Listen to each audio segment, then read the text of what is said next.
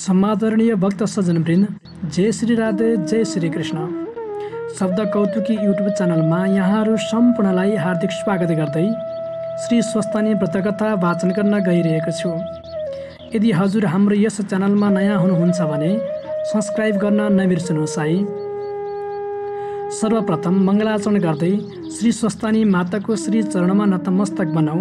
त्यसपछि हामी श्री स्वस्तानी व्रतकथा श्रवण गर्नेछौँ। समादरणीय सज्जनबिन सम्भव भएसम्म हातमा फुल लिएर अथवा त्यो असम्भव भएमा हात मात्रै जोडेर भए पनि मङ्गलाचरणमा सरिक भइदिनुहोला तथा मनमा मेरो इच्छित कामना परहोस् भनेर पनि सम्झिनुहोला साथै नछुटाइकन अध्यायको विश्राम पर्यन्त एकचित्त भई श्रवण गर्नुहोला ताकि भगवती श्री स्वस्तानीमा लागेको हजुरको पवित्र मन छुट्टिएर अन्तकतै नलागोस्। अथ मङ्गलाचरणम् यं ब्रह्मा वरुणेन्द्ररुद्रमरुतः स्तुन्वन्ति दिव्यैस्तवैर् वेदै साङ्गपदक्रमोपनिषदैर् ज्ञायन्ति यं सामगा। ध्यानावस्ति तदद्गतेन मनसा पश्यन्ति यं योगिनो यस्यान्तं न विदुः सुरासुरगणा। देवाय तस्मै नमः।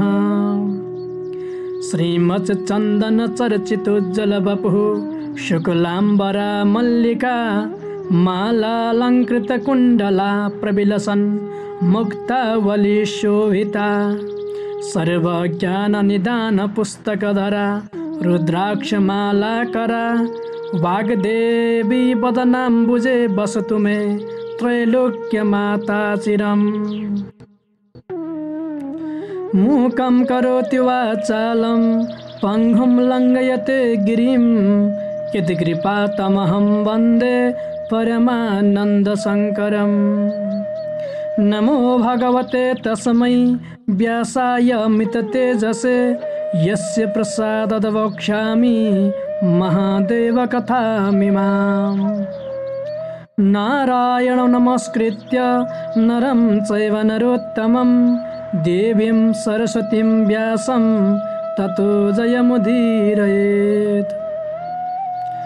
स्वस्थानि जननि महेश्वरप्रिये हे सर्वभूतेश्वरी ज्योतिर्बिन्दुस्वरूपले गतिदिने हे सर्वशक्तिश्वरी यस्तो शक्ति मम दिनु सजुरले सत्कर्म के हो चिनु। इच्छा पुष्प यिनै चढाउँछु मुमा वात्सल्य वर्षाउनु इच्छा पुष्प यिनै चढाउँछु मुमा वात्सल्य वर्षाउनु आदरणीय भक्त सज्जनवृन्द अब हजुरहरूले लिनुभएको पुष्पाञ्जलीलाई पुस्तकमा चढाउनुहोस् र एकचित्त भई कथा सुन्न प्रारम्भ गर्नुहोस्।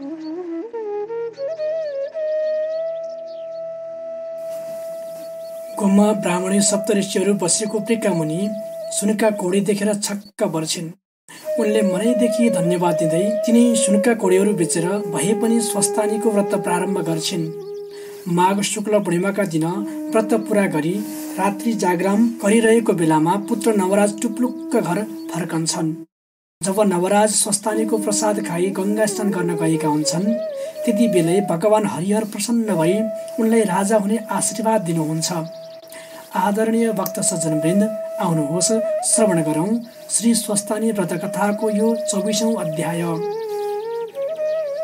श्री गणेशाय नमः श्री स्वस्थानी देव्यै नमः अथ चतुर्विंश अध्याय। कुमारजी आज्ञा गर्नुहुन्छ हे अगस्त्य मुनि त्यहाँ उपरान्त गोमा ब्राह्मणीले धागाको लरिया लिएर चन्द्रज्योति नगरका एकजना बरहीका घरमा गइन्। उनले बरहीलाई भनिन् सप्तऋषि मेरा घरमा आउनुभएको छ उहाँहरूलाई खानको लागि पान दिनुहोस्। यो धागाको लरियासँग पान साटौँ। गोमाको कुरा सुनेर बरहीले भने हे गोमा ब्राह्मणी मसँग पान कति पनि छैन। जति भएको हिजै बेचिसके। नपत्याए हेर्नुहोस् यति भनी बरहीले छुपिराखेको भाँडो उघारी देखायो तर त्यहाँ भाँडाभरि पान देखियो। पान देखेर बरहीले आश्चर्य मान्दै गुमातिर हेरेर भने हे गोमा ब्राह्मणी यस भाँडाको पानी हिजै बेचिसकेको थिएँ। आज कताबाट आएछ? तपाईँले आफ्ना घरमा सप्तऋषि आएका छन् उनीहरूलाई खान दिने कुरा गर्दा यस्तो आश्चर्य भयो। तपाईँ धन्य हुनुहुँदो रहेछ। त्यो धागाको लरिया म लिन्न। यो पान लगेर ऋषिहरूलाई खान दिनुहोस्। यति भन्दै गुमालाई पान ल्वाङ सुपारी समेत दिए। गुमा ब्राह्मणीले त्यो पान लिएर आउँदा घरमा सप्तऋषिहरूलाई देखिनन्। त्यसपछि दुखी हुँदै मन मनमा भन्न लागिन्। अरू थोक नभए पनि ऋषिहरूलाई पानले सम्मान गर्ने कत्रो ठुलो दुःख थियो। तर त्यो पनि मैले पाइनँ। धिक्कार छ मेरो जीवन। यति भनी विस्मात गर्न लागिन्। धेरै बेरपछि शान्त भई हातमा कुचोली पिर्का उठाई बढार्न लाग्दा ऋषिहरूले छोडी गएका सातवटा सुनका कौडी देखिन्। गुमाले आश्चर्य मान्दै सप्त ऋषिहरूको कृपा सम्झेर ती कौडीहरू बेची ऋषिहरूले बताए झैँ गरी श्री स्वस्तानी परमेश्वरीको व्रत गर्न थालिन्। जब पौष शुक्ल पूर्णिमाको दिन आयो त्यस बेलादेखि पवित्र जलाशयमा गएर स्नान गरी पानीभित्रको चोखो बालुवा ल्याएर शिवलिङ्ग बनाइन् र नित्य मध्याह कालमा श्री स्वस्तानी र श्री महादेवको भक्तिपूर्वक पूजा गर्न लागिन्। आफूसँग जे भएका सामग्रीको नैवेद्यादि बनाएर गुमा सधैँ पूजा गर्दथिन्। रात पर्ने बित्तिकै कोही नहुनाले आफ्ना ओछ्यान चर्का धनु जे जे छन् सामान्य राखेर श्री स्वस्तानी परमेश्वरीको कथा आफू पनि सुन्दै ती सामानहरूलाई पनि सुनाउन लागिन्। चन्द्र ज्योति नगरका गोठाला केटाकेटीहरूले त्यो कथा भनेको सुनि खरको भित्तो च्याती च्याई हेर्दा गोमालाई एक्लै कराइरहेको देखेर भने हे गोमा ब्राह्मणी तिमीलाई के भएर एक्लै त्यसरी कराउँछौ? गोठालाहरूको प्रश्न सुनेर गोमाले भनिन् हे बालक मैले श्री स्वस्तानी परमेश्वरीको कथा भनेकी हुँ। सुन्ने मानिस कोही नहुँदा ओछ्यान चर्का उइटा धनु आदिलाई सुनाउँछु यदि गुमाले भनेको सुनि ती केटाकेटीहरूले आफूहरूले दिउँसो खाना मनी लगेको अन्न त्यहीँ छोडिदिए। त्यस दिनदेखि सधैँ तिनीहरू पनि गएर गुमा ब्राह्मणीले भनेको कथा सुन्न थाले र जे सकेको खानेकुरा पनि लगिदिन थाले। त्यो दिनदेखि श्री स्वस्तानी परमेश्वरीको व्रतका प्रभावले ती गोठालाहरूका गाईलाई घाँस टाढा खोज्न जानु परेन। कमलाई पनि अन्न वस्त्र द्रव्य वृद्धि हुँदै गयो। व्रत गर्दा गर्दै महिना दिन भयो त्यसपछि माघ शुक्ल पूर्णिमाका दिन सम्पूर्ण सामग्री तयार गरी एकचित्त भई श्री स्वस्तानी परमेश्वरीको पूजा गरी ध्यान गर्दै हातमा अर्घ्य पात्र लिएर गुमाले प्रार्थना गर्न लागिन्। हे श्री स्वस्तानी परमेश्वरी मेरो पूजादेखि हजुर सन्तुष्ट हुनुहोस् र मलाई दुःखका समुद्रदेखि पार गर्नुहोस्। मेरो पुत्र नवराज चाँडै घर फर्किआओस्। मलाई श्री महादेवले भिक्षुक रूप भई दिनुभएको श्राप पनि नाश गरी मेरो पुत्र नवराजलाई यस लोकमा सुख सम्पत्ति दिनुहोस् र परलोकमा पनि मोक्ष दिनुहोस्। हजुरको जप ध्यान सधैँ मेरा हृदयमा रहिराखोस्। हे जगदीश्वरी यो ब्रह्माण्ड संसारमा सृष्टि स्थिति कर्ता ब्रह्मा विष्णु महेश्वर एक रूप भएकी आदि अन्त्य नभएकी हजुरलाई मेरो कोटि कोटि नमस्कार छ। हे पिनाका धारिणी हजुरको महिमा वर्णन गर्न हजार जिब्रा भएका शेषनाग तथा सरस्वतीले पनि नसकेको म जस्तीले के सकुला र? यसरी स्तुति गरी अर्घ दण्डवत प्रणाम गरिन्। अनि प्रसाद झिकी एक सय आठमा आठ रोटी आठ अक्षता आठ बेली पुष्प आठ जनै आठ पान आठ कुडका सुपारी सगुण समेत यो मेरो पुत्र नवराजलाई भनी छुट्याइन्। सय आफूले फलाहार गरी रात्रिमा जागरण गरिन्। त्यसै दिन राति श्री स्वस्तानी परमेश्वरीका व्रतका प्रभावले नवराज घरमा आइपुगेर बाहिर बसी गोमालाई बोलाए हे माता ढोका खोल्नुहोस् म आइपुगेँ। गोमाले आफ्ना पुत्र नवराजको बोली सुनेर चाँडै उठी बाहिर आइन् र भित्र बोलाएर लगी ठुलो प्रीतिपूर्वक भन्न लागिन्। हे छोरा कुशलै छस् तेरा बाबुको खबर के छ यसरी आमाले सोधेपछि नवराजले सबै वृत्तान्त वर्णन गरे। नवराजले भनेको सुनि गुमाले धेरै अधर्य भई हात निधारमा बजारी भन्न लागिन्। निर्विवेकी विधाताले निरे विवेकी विधाताले सत्तरी वर्षका बुढासित सात वर्षको मेरमा मेरो विवाह गराएर यस्तो यौवनावस्थामा विछोड गराइदिए। हे स्वामी भिक्षा माग्न भनी जानुभएको मलाई एक्लै छोडी हजुर कता जानुभयो? हे नाथ तपाईँ बिना मेरो प्राण कसरी रहला? जहाँ तपाईँ जानुभयो मलाई पनि त्यहीँ लैजानुहोस्। यति भनी रुँदै मुर्छा भई भूमिमा परेर शोक गर्न लागिन्।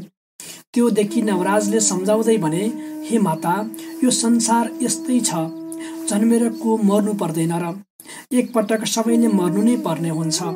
यस अर्थले अब मेरो मुख हेरी शोक नगर्नुहोस् तपाईँकी बुहारी कहाँ छ? यतिका दिनसम्म तपाईँले के खाइरहनु भएको थियो? फेरि यस बेलासम्म नसुती हजुरले यो के गरिरहनु भएको हो? आज्ञा होस्। आफ्नो पुत्र नवराजले भनेको सुनि गुमाले धैर्य गरी भन्न लागिन् हे पुत्र थाकेर आइस भोग लाग्यो होला। त्यहाँ श्री स्वस्तानी परमेश्वरीको प्रसाद छ निकालेर खा।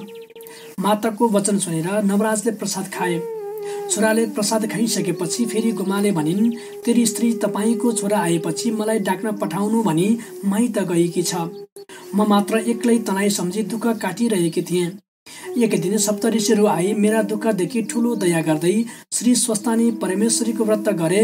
तिम्रो दुःख नाश होला इच्छा सिद्ध होला भनी उपदेश गरेको हुनाले तिनी ऋषिहरूको उपदेश अनुसार मेरा पुत्र चाँडो आइपुगोस् दुःख नाश होस् भनी श्री स्वस्तानी परमेश्वरीको व्रत पूजा गरेकी थिएँ र समापन गरेर रातभर जागरण गर्न अहिलेसम्म सुतेकी छैन। परमेश्वरीको महिमा तँलाई पनि सुनाउँछु। एक चित्त भई सुन। र यस लोकमा सुख सम्पत्ति पाई परलोकमा मोक्ष लाभ होला भनी सम्पूर्ण श्री स्वस्तानी व्रत कथा नवराजलाई पनि सुनाइन्। त्यसपछि उज्यालो पनि भयो। बिहान भएपछि नवराजले भने हे माता तपाईँ धन्य हुनुहुँदो रहेछ। यस्तै श्री स्वस्तानी परमेश्वरीको व्रत गर्नुभयो। मलाई पनि साह्रै खुसी लाग्यो। अब म गङ्गामा गई स्नान गरी आउँछु। यति भनी बिदा भएर नवराज स्नान गर्न पनि गङ्गाको तिरमा गए। नवराजले स्नान गरी सन्ध्या तर्पण गरिसकेर हरिहरको पूजा पनि गरे। नवराजको र गुमाको भक्तिले गर्दा गङ्गाबाट हरिहर प्रकट भएर आज्ञा गर्नुभयो हे नवराज तिम्री माता गुमाले गरेको श्री स्वस्थानी परमेश्वरको व्रतका प्रभावले हामी प्रसन्न भयौँ। अब हामी तिमीलाई वरदान दिन्छौँ। यस गङ्गादेखि दक्षिण दिशामा लावण्य देश छ। त्यहाँ राजा छैनन्। हात्तीलाई सुवर्णको कलश र फुलको माला दिएर त्यहाँका प्रजाहरूले आफ्नो देशका लागि राजा खोज्न पठाएका छन्। तिमी त्यहाँ जाऊ हामी त्यस हात्तीको मनमा प्रवेश गरी राज्याभिषेक तिमीलाई दिलाउला। तिमी राजा हुनेछौ। यति हरिहरले वरदान दिएको सुनि हात जोडी नवराज स्तुति गर्न लागे। यौतौ शङ्ख कपाल भूषित करौ मानास्ति मालाधरौ देवौ द्वारवती श्मशान निलयौ नागारि गोवाहनौ द्वैत्रयक्षौ बलि दक्ष यज्ञ मथनौ मेघाद्रि राजा प्रभौ पापम मे हरताम सदा हरिहरौ श्रीशैलजा वल्लभौ हे हरिहर हातमा शङ्ख र दैत्यका खप्पर लिनुभएका वनमाला अस्थिमाला लगाउनुभएका दिव्य रूप द्वारका र श्मशानमा बस्नुभएका करोड र वृषभ वाहनयुक्त दुई र तिन आँखा हुनुभएका बलिराज र दक्ष प्रजापतिको यज्ञ मन्थन गर्ने मेघ र हिमालय पर्वतको जस्तो वर्ण हुनुभएका लक्ष्मी र पार्वतीका स्वामी हजुरले मेरो पाप सदा हरण गरिदिनुहोस्। म माथि दया गरी अनाथ भइरहेको मलाई दर्शन दिनुभयो। म धन्य रहेछु। मैले मेरी माताको गर्भमा बास गरी जन्म लिएको पनि सफल भयो। हे भक्तवत्सल हजुर कस्ता हुनुहुन्छ भने दुष्टजनको नाश गरी साधुजनको रक्षा गर्ने ब्रह्माण्ड संसारको सृष्टि गरी पाप पुण्यका साक्षी हुनुभएका यस्ता हजुरलाई कोटी कोटी नमस्कार छ। हजुरको महिमा वर्णन गर्न हजार जिब्रा भएका शेषनागको पनि शक्ति छैन भने अरूको त के कुरा गरौँ? सधैँ हजुरहरूको भक्तिमा मेरो चित्त लागिरहोस्। यति भनी नाना स्थिति गरेपछि हरिहर अन्तर्ध्यान हुनुभयो। ती नवराजले हरिहरको दर्शन पाएपछि उनी सूर्यका तेज जस्तो तेजिलो भई घर आए। त्यस्तो तेज भएका नवराजलाई गुमालेदेखि आश्चर्य मान्दै भन्न लागिन् हे पुत्र त आज अति तेजस्वी देखिन्छस्। आज मेरो चित्तमा भ्रान्ति भएको हुवा सत्य हो। देवराज इन्द्रभन्दा पनि सुन्दर देख्छु त। आफ्नी माताले यस्तो भनेको सुनि नवराजले आफू स्नान गर्न जाँदा गङ्गाबाट हरिहर प्रकट भएको कुरा र लावण्य देशको राजा होलास भनी वरदान दिनुभएको सम्पूर्ण वृत्तान्त सुनाए। त्यसपछि फेरि भने हे माता तपाईँका तपस्याका प्रभावले म यस्तो भएँ। आफ्नो पुत्र नवराजका कुरा सुनि गोमा अत्यन्त खुसी हुँदै भन्न लागिन्। हे पुत्र त हरिहरको वरदानले लावण्य देशको राजा भएस। यति भनी शिरमा हात राखी गोमाले आशिष दिइन्। नवराजले श्री स्वस्तानी परमेश्वरलाई मनले सम्झी, आफ्नी माताका शरणमा प्रणाम गरी लावण्य देशतिर गए। इति श्रीस्कन्द पुराणे केदारखण्डे माघ महात्मे कुमार अगस्त्य संवादे श्री स्वस्तानी व्रतकथायां, कुमार श्री स्वस्तानी व्रतकृतो नाम चतुर्विंशोऽध्यायः सम्पूर्णम्। श्री उमा महेश्वराभ्यां नमः।